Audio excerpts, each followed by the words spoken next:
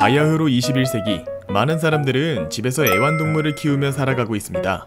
저만 해도 집에 고양이가 한 마리 있는데요. 저는 만약 과학이 발달된다면 동물과 대화할 수 있는 장치가 만들어지면 좋겠다는 생각을 합니다. 이 무친 고양이가 같이 산 지 7년이 돼가는데 저만 보면 하악거립니다. 왜 그러는지 이유라도 물어보고 싶어요. 사실 이게 과학이 발전한다고 해서 해결될 문제일지는 모르겠습니다. 메이플 영상 만드는 사람이 뭔 개소리를 이렇게 길게 짓거리나 싶을 텐데 메이플 스토리에서 제가 말한 것과 비슷한 얘기가 있어서 이렇게 빌드업을 해봤습니다. 오늘은 오르비스의 삽살개 봉다리에 대한 얘기를 알아보도록 하겠습니다. 자, 영상 보시기 전에 구독, 좋아요 한 번씩만 눌러주시면 감사하겠습니다.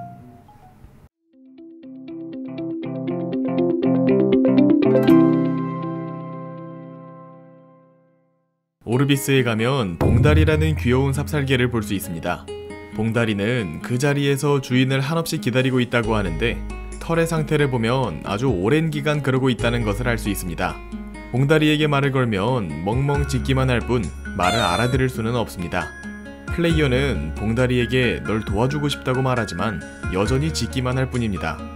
꼬리를 흔드는 걸 보니 플레이어의 말을 알아들은 듯 하지만 의미 전달이 안 되니 답답합니다. 플레이어는 지나가다 만난 오르비스의 여인에게 봉다리에 대한 얘기를 물어보기로 합니다. 옆에 있는 리사에게 말을 걸어보도록 합시다. 리사에게 봉다리에 대한 얘기를 하자 그녀는 봉다리와 교감은 할 수 있다고 합니다. 봉다리의 기운을 느껴본 리사는 봉다리가 아픈 것 같지만 정확히 뭐라고 하는지는 알 수 없다고 하며 봉다리를 가여워합니다. 그때 리사는 플레이어에게 봉다리의 말을 정확하게 알아들을 수 있는 방법이 있다고 하며 정말 봉다리를 돕고 싶다면 다시 한번 자신을 찾아오라고 합니다. 다시 리사를 찾아가자 그녀는 봉다리의 말을 알아들을 수 있는 방법이 있다고 하는데요.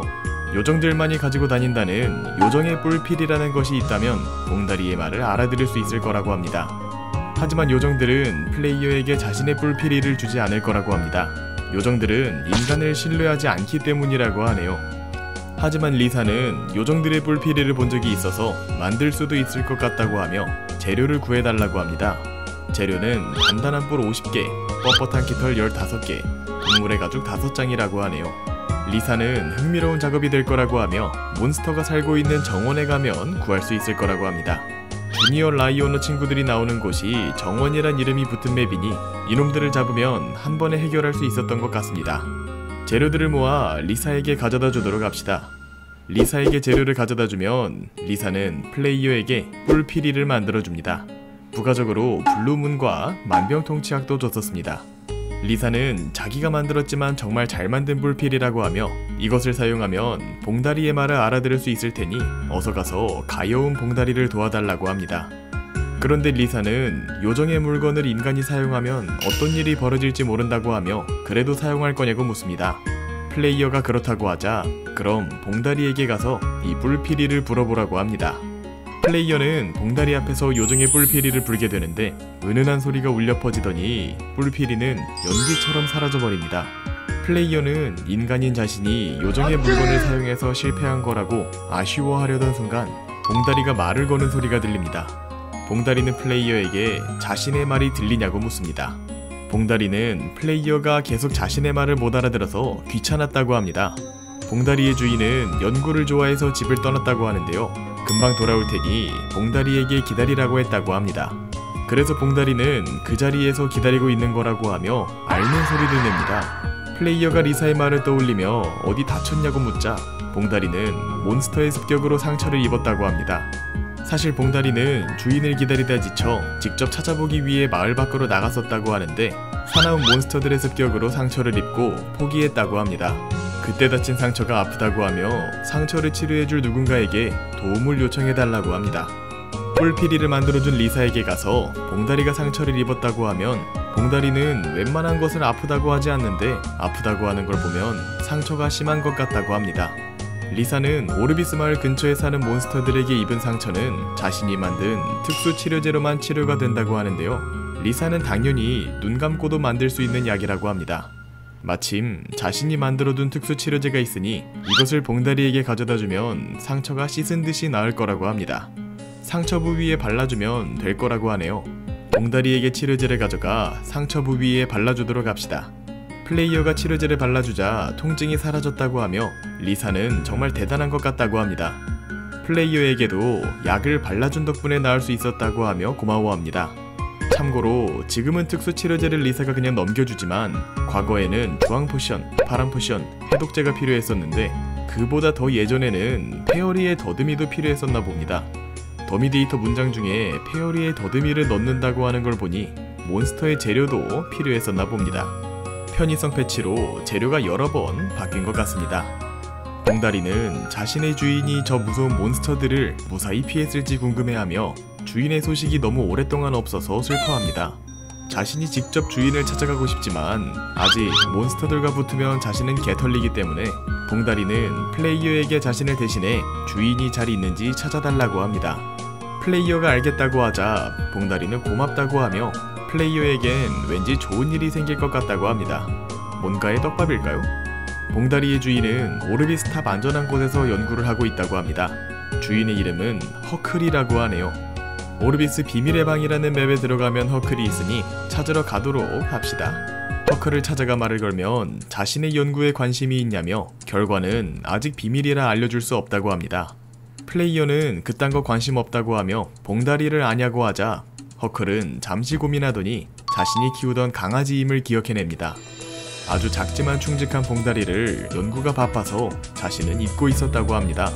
플레이어가 봉다리가 꽤 컸다고 말해주자 깜짝 놀라며 자신이 연구를 위해 떠날 때만 해도 가방 안에 넣고 다녔다고 하며 봉다리가 자신을 기다리고 있을 거라고 합니다. 허클은 플레이어에게 여기까지 찾아와줘서 고맙고 봉다리를 보살펴줘서 고맙다고 합니다. 허클은 이런 못난 주인을 기다리는 봉다리를 까맣게 잊고 살았다는 사실을 후회하며 플레이어에게 자신을 대신해 봉다리가 좋아하던 간식을 구해달라고 합니다. 자신은 연구 때문에 이곳을 비울 수 없다고 하며 자신을 대신해 주니어 페페의 물고기 50마리만 모아달라고 합니다. 봉다리는 주니어 페페가 주는 물고기를 아주 잘 먹었다고 하네요. 허클은 자신의 부탁을 들어주면 감사의 뜻으로 자신의 연구 결과에 플레이어의 이름을 아주 작게 써줄지도 모른다고 합니다. 주니어 페페의 물고기를 모아 봉달이에게 가져다주면 주인이 무사하다는 소식을 듣고 다행이라고 합니다. 봉달이는 보답으로 마법석 활성화 주문서 뚱뚱이 핫도그 펫의 먹이를 줬었습니다. 이 퀘스트는 두 번 더 해야 합니다. 다시 허클에게 찾아가 봉달이가 물고기를 받고 아주 좋아했다고 하자 여태껏 봉다리에게 소홀했던 자신이 너무 창피하다고 하며 간식을 더 챙겨줘야겠다고 합니다. 이번엔 100마리를 보내야겠다고 하며 물고기를 모아 다시 한번 봉다리에게 전해달라고 합니다. 다시 주니어 페페를 털어 물고기를 모아서 봉다리에게 가져다 주면 마찬가지로 활성화 주문서 핫도그, 팬먹이를 줬습니다. 봉다리는 주인은 연구를 할 시간도 부족할 텐데 자신을 생각해 준다고 하며 감동 먹습니다. 허크를 만나게 되면 아주 좋아했다고 다시 한번 전해달라고 하네요. 마지막으로 다시 허클에게가 봉다리가 또 좋아했다고 전해주자 광기에 소려서 이번에는 150마리를 다시 전해주라고 합니다. 이번 일을 잘 마무리하면 허클이 플레이어를 자신의 조수로 받아주겠다고 하네요. 마지막으로 봉다리에게 물고기를 모아 가져다 주면 주인이 자신을 생각하는 마음은 알겠지만 이젠 연구에 집중했으면 좋겠다고 합니다. 봉달이는 생선 비린내가 지긋지긋하다고 하며 주인이 알면 서운해하겠지만 이제 질려버렸다고 하며 다시는 물고기를 가져오지 말아달라고 합니다. 어쨌든 주인의 소식을 이렇게 전해줘서 고맙다고 하며 봉달이의 이야기는 끝이 납니다. 오르비스의 봉달이 퀘스트는 지금도 할 수 있는데 허클에게서 주니어 페페의 물고기를 가져다주는 퀘스트는 현재 할 수 없는 것 같습니다. 상처 치료를 해주고 나면 더 이상 봉달이에게 퀘스트가 없더라고요.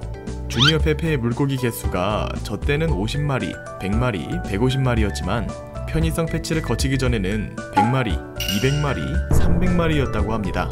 이런 미친 퀘스트.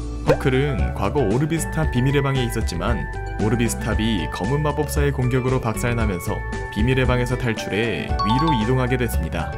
허클의 대피 이야기가 보고 싶으시면 오른쪽 위를 누르시면 되겠습니다.